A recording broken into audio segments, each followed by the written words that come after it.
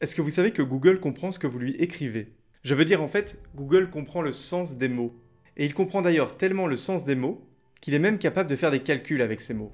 Quand je dis calcul, je veux dire un truc du genre roi plus femme moins homme égale reine. Bon, je reconnais que ça peut sembler un peu bizarre. Hein. Comment est-ce que c'est possible de faire du calcul avec des mots? Eh bien, j'ai un truc à vous montrer. Regardez, on va passer sur l'écran. Avec cette ligne de code ici, je vais faire le calcul dont je viens de vous parler. Je vais demander à un algorithme de trouver un mot. Et ce mot, il doit être proche de roi et de femme, mais il doit être éloigné du mot homme. J'exécute le code, et voici le résultat. On a le mot reine. On va faire un autre calcul. Paris plus Allemagne moins la France. Et on va voir ce que ça nous donne. Ça nous donne Berlin. Et maintenant, on va explorer un peu les animaux. On va demander au modèle de trouver un mot qui est égal à chiot plus chat moins chien. Et quel est le résultat? C'est un petit chaton. Mais alors, comment est-ce que c'est possible de faire des mathématiques avec des mots En fait, ce que vous voyez ici, c'est une technologie qui a été développée par Google en 2013. Elle s'appelle Word2Vec, et ça appartient aux algorithmes de Word Embedding. On va y revenir plus tard. Ici, je dirais seulement que, en gros, ça permet à une machine de comprendre ce que les mots veulent dire. Et à la fin de cette vidéo, vous allez comprendre comment ça marche. Vous allez même pouvoir le faire vous-même. Mais avant ça, à quoi ça sert le Word Embedding? En fait, en gros, ça permet d'améliorer la recherche d'informations.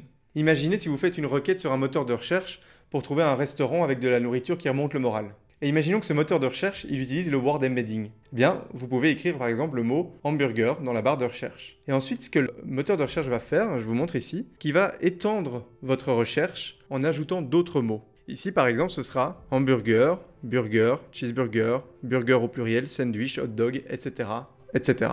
Et avec ça, vous allez trouver du contenu proche de ce que vous recherchez. Et ça, même si vous ne l'avez pas dit explicitement. Je cherchais des hamburgers, j'ai trouvé des hot dogs, et ça me convient. Et c'est pratique parce que ça permet de répondre à la problématique du silence dans la recherche d'informations. Le silence, c'est quand on fait une recherche mais qu'on n'a aucun résultat. Bref, pour résumer, le word embedding, eh bien, il améliore notre recherche d'informations. Et ça, c'est vrai à la fois pour les moteurs de recherche, comme euh, Google, Yahoo, YouTube, etc., etc., mais c'est également indispensable pour que l'on puisse converser avec les machines. Et là, je fais référence aux assistants virtuels tels que Alexa, Siri, Google, etc., etc. Enfin voilà, je pense que vous voyez maintenant à quoi ça peut servir pour une machine de comprendre le sens des mots. Mais le truc que vous devez savoir, c'est que le word embedding, ça n'a pas été inventé en un jour. Et j'ai envie de revenir avec vous sur les deux grandes étapes qui ont rendu possible cette technologie. Mais avant de passer à la suite, n'hésitez pas à montrer votre intérêt en likant la vidéo et en vous abonnant. Et surtout en la partageant auprès de ceux que ça pourrait intéresser autour de vous. On peut choisir comme point de départ 1954. Cette année-là, Zayleg Harris, un linguiste, a publié Distributional Structure. Et dans cette publication, il propose cette hypothèse. Je le cite. Les différences de sens sont corrélées aux différences de distribution. Alors ça peut vous sembler un peu bizarre comme phrase. Hein. je vais vous expliquer ce que ça veut dire. En fait, ça a été formulé autrement quelques années plus tard par John Rupert Firth. Il a dit, je le cite, On ne peut connaître un mot que par ses fréquentations. Et ça, c'est ce qu'on appelle l'hypothèse distributionnelle. C'est une hypothèse qui dit que les mots qui se trouvent dans un même contexte linguistique ont un sens qui est proche. Et qu'est-ce que c'est le contexte linguistique? Eh bien, en très simplifié, on peut dire que ce sont les mots qui se trouvent avant et après un mot que l'on observe. Regardez l'illustration que je vous affiche à l'écran. Eh bien, vous avez le mot observé, qu'on appelle le center word. Ici, c'est chat, il est en bleu. Et en rouge, vous avez le contexte du mot chat. On appelle ça les context words, ils sont présentés donc en rouge. Et pour la taille du contexte, on peut choisir de prendre un, deux, trois mots, etc. Et l'idée, c'est que si le mot chien est statistiquement entouré par les mêmes mots que le mot chat, alors cela veut dire que le sens du mot chien est proche du sens du mot chat. J'espère que vous me suivez. Et donc ça, c'est l'hypothèse distributionnelle. On va revenir dessus après, vous allez voir. Mais cette hypothèse distributionnelle, elle n'a pas été liée directement à l'intelligence artificielle. Car le truc, c'est qu'à l'époque où cette hypothèse a été posée, c'était les années 50. Et l'informatique, elle n'en était qu'à ses premiers balbutiements à l'époque. Et en réalité, jusqu'aux années 80, il ne s'est pas passé grand chose, si je caricature un peu. La linguistique et l'informatique se limitaient à l'application de moteurs de règles. J'en ai parlé sur ma première vidéo sur l'analyse de sentiments. Bref, on utilisait peu de statistiques et encore moins de machine learning à l'époque. On peut dire qu'une étape importante a été franchie par Gerald Selton en 1983. Dans sa publication Introduction to Modern Information Retrieval, il introduit le concept de modèle vectoriel. Et en fait, j'en ai déjà parlé dans ma vidéo qui expliquait comment est-ce que le machine learning peut comprendre le langage. L'idée, en gros, c'est de représenter un texte sous la forme d'un vecteur, c'est-à-dire une liste de valeurs numériques. Et la manière la plus simple, c'est de compter les mots. Regardez sur l'écran, on va prendre trois phrases. On a donc le chat mange ses croquettes, le chien aime ses croquettes et le chat ronronne et mange. Je compile ces trois phrases et je vais importer un count vectorizer de scikit-learn. Et ces trois phrases, on va les transformer en un vecteur en comptant les mots. Voici le résultat. Le problème avec cette manière de créer un vecteur en comptant les mots, c'est que les mots ont tous le même poids. Je m'explique. Regardez ici par exemple dans la troisième phrase. Le mot le a autant de poids que le mot ronronne. Et pourtant, intuitivement, on sait bien que le mot ronronne contient plus d'informations sémantiques que le déterminant le. Et pour résoudre ce problème, Salton propose d'utiliser une autre valeur numérique que le nombre de mots. Cela s'appelle le TF-IDF. Ça veut dire Term Frequency Inverse Document Frequency. Le term frequency, c'est la fréquence du mot dans un document spécifique. Par exemple, dans la phrase 3, il y a 4 mots, et le mot ronronne apparaît une seule fois. Sa fréquence est donc de 25%. Et la document frequency, c'est la fréquence des documents qui contiennent ce mot. Ici, il y a 3 documents, dont un seul contient le mot ronronne. Sa document frequency est donc de 33%. Et en gros, le TF-IDF, il fait un peu un arbitrage entre ces deux mesures. Un mot qui apparaîtrait dans très peu de documents, mais qui est très présent dans un document spécifique, il va avoir un score plus élevé, alors qu'un mot qui apparaît dans tous les documents, il va avoir un score plus bas. Si ça vous intéresse, voici la formule à l'écran. Et je vous montre maintenant nos trois phrases vectorisées avec un TF-IDF. Voyez le résultat On peut comparer le vecteur qu'on vient d'obtenir avec les vecteurs qui comptaient les mots tout simplement.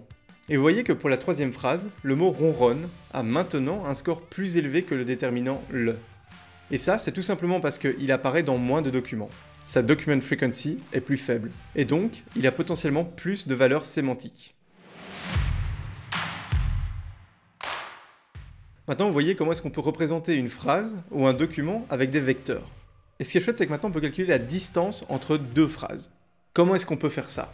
Eh bien, il va falloir être un peu créatif. Vous voyez que dans notre vecteur ici, que j'affiche à l'écran, il y a trois phrases, qui sont les trois lignes, et il y a neuf mots, qui sont les colonnes. Eh bien, on peut imaginer que ces neuf mots constituent neuf dimensions d'un espace vectoriel. Du coup, chaque phrase, c'est-à-dire chaque vecteur, peut être considéré comme un point dans cet espace à neuf dimensions. Et cela veut dire du coup qu'il y a une certaine distance entre ces points. Et cette distance, on peut la mesurer. Elle s'appelle la distance cosine. On va passer sur l'écran et je vais vous montrer un exemple. J'importe la fonction cosine de SciPy et nous allons vérifier à quel point la phrase 3 est proche de la phrase 1. Au fond, toutes les deux contiennent le mot chat et le mot mange. Elles sont donc peut-être proches. Donc j'exécute ma fonction et on constate en effet qu'elles sont à une distance cosine de 50% dans cet espace vectoriel de 9 dimensions. En revanche, la phrase 1 est plus éloignée de la phrase 2, et on peut le vérifier. On va calculer leur distance cosine, et là vous voyez qu'elle a une distance cosine de 90%, ce qui est presque le double. Bon, tout ça c'est très bien, mais en quoi est-ce que ça nous permet de comprendre le sens des mots? Eh bien en fait c'est assez simple. Je vais vous expliquer, vous allez voir. Si le sens des mots est lié à leur contexte, c'est l'hypothèse distributionnelle. Et si le contexte des mots peut être représenté sous la forme de vecteurs? Et si il est possible de calculer la distance entre deux vecteurs, alors nous pouvons mesurer la distance sémantique entre deux mots. C'est pas con, hein? Je vais vous montrer ça concrètement, vous allez voir. D'abord, on va prendre une liste de phrases un peu plus grande. Je vous l'affiche à l'écran, on va mettre six phrases. Vous voyez, le chat mange des croquettes, le chien dévore ses croquettes, le chat dévore son pâté, Jean va travailler, etc. etc. Et ce qu'on va faire maintenant, c'est qu'on va prendre chacun des mots de ces phrases et on va isoler leur contexte. vous voyez la formule à l'écran, ça peut se faire avec simplement une boucle qui itère dans les différentes phrases. Ça a tourné, ça a été très vite et maintenant je vous affiche le résultat. Et vous voyez maintenant que le mot le a dans son contexte le mot chat, chien, chat et chat. Le mot chat a dans son contexte le mot le, mange, le, dévore, le, mange, etc. etc. Pour info, j'ai pris ici un contexte de taille 1, c'est-à-dire que je considère comme le contexte d'un mot le mot qui se trouve avant et après. Maintenant, nous allons vectoriser ces contextes, de la même manière que nous avons vectorisé les phrases il y a quelques secondes. Alors ça peut se faire avec cette ligne de code ici, vous voyez que j'utilise un TF-IDF Vectorizer, et je vous imprime les résultats. Voilà, vous voyez le résultat à l'écran on a un espace vectoriel qui contient 16 dimensions, et ces 16 dimensions sont les 16 mots différents qui apparaissent dans ces 6 phrases. Et voyez que pour chaque mot, on a maintenant un vecteur qui représente son contexte. Et ce vecteur, au fond, il positionne le mot dans un espace vectoriel de 16 dimensions. Et vous voyez où je veux en venir, je crois. Si l'hypothèse distributionnelle est exacte, ces vecteurs de contexte peuvent être considérés comme des vecteurs de sens. Eh bien, on va vérifier ça immédiatement. Alors si on veut comparer ces vecteurs, c'est pas très simple. Il faut regarder, il faut compter, ok, alors si on veut comparer chien et dévore, on regarde la valeur 3, la valeur 2, ok, ça n'a pas l'air pareil, etc. Une méthode qui peut être très simple pour faire ça, c'est simplement d'utiliser Matplotlib et de visualiser ça en mettant une bande avec des couleurs là où la valeur est supérieure à 0. Vous voyez le code ici à l'écran, et je vais exécuter la fonction pour le vecteur du mot chien. Et vous voyez que sur les, 16 dimensions, il y a 4 dimensions qui sont activées, on va dire, dans lesquelles la valeur est supérieure à 0. Et si maintenant on fait la même chose pour le vecteur du mot chat, avec une simple inspection visuelle, on se rend compte que hmm, ils sont proches quand même. À l'exception de, la, de la 13e dimension, ces deux vecteurs sont absolument similaires. Mais pour vérifier ça, on va plutôt utiliser la distance cosine qui permet de mesurer la distance entre deux vecteurs. Vous voyez une petite fonction ici, qui en gros va nous imprimer pour chaque mot qu'on lui donne, quel est le mot qui a le contexte le plus proche dans le corpus qu'on a observé. Je compile ma fonction. Nous allons maintenant regarder quel est le mot qui est le plus proche du mot chat. Et vous voyez que c'est le mot chien avec une cosine similarité, c'est-à-dire 1 moins la cosine distance, qui est de 80%. Si maintenant on fait la même chose avec le mot chien, c'est le mot chat qui est le plus proche avec la même distance. Si on prend le mot mange, on voit que le mot le plus proche est le mot dévore. Et si on prend le mot pâté, on voit que le mot qui est le plus proche, il est même absolument identique en termes de contexte dans notre corpus ici, c'est le mot repas. Alors je sais pas ce que vous pensez de ce résultat ici, mais quand même je trouve qu'on sent que les mots dont les vecteurs de contexte sont proches, eh bien ils ont quand même un sens qui est plutôt proche. Et pourtant, nous ne sommes pas arrivés au bout de notre histoire. Car si l'on veut utiliser la méthode que je viens de vous montrer à grande échelle, bien sûr ça n'a aucun sens de faire ça sur 6 phrases. Ça n'a du sens que si on le fait sur des millions, voire des milliards de phrases. Si on fait ça, on va avoir un gros problème. Je m'explique. Ici, par exemple, on avait 6 phrases. Et quand on les a vectorisés, on a obtenu 6 vecteurs dans un espace à 16 dimensions. Et imaginez un peu si l'on veut faire ça à l'échelle d'Internet, comme le ferait le moteur de recherche Google par exemple. Alors nous aurions des millions, voire des milliards de dimensions. Et calculer la distance entre des milliards de vecteurs ayant des milliards de dimensions, ce serait une solution qui serait quasiment inutilisable, tellement elle serait lente. Et cette problématique, elle est bien connue. On l'appelle parfois en français le fléau de la dimension, et il y a des solutions pour cela. Mais ça, ce sera pour la prochaine vidéo, parce qu'on a déjà vu beaucoup de choses ici. Si vous avez des questions, des réactions, ou bien une idée d'un sujet intéressant pour une prochaine vidéo, n'hésitez pas à écrire un commentaire en bas de cette vidéo, et je répondrai avec grand plaisir. Et bien sûr, n'hésitez pas à liker la vidéo si elle vous a plu, et à vous abonner. Sur ce, je vous dis rendez-vous dans quelques semaines pour la prochaine vidéo. A bientôt